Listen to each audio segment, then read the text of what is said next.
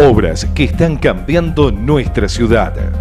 Se reparó y pintó las barandas, calles y paredes del cruce ferroviario que une el centro con el lado oeste de la ciudad. Se finalizó con el acondicionamiento y pintado de la estación terminal de ómnibus. Se continúan con las mejoras de las calles, con bacheos y señalizaciones.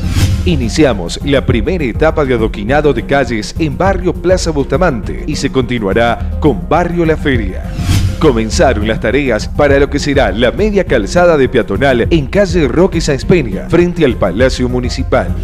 Obras que están cambiando nuestra ciudad.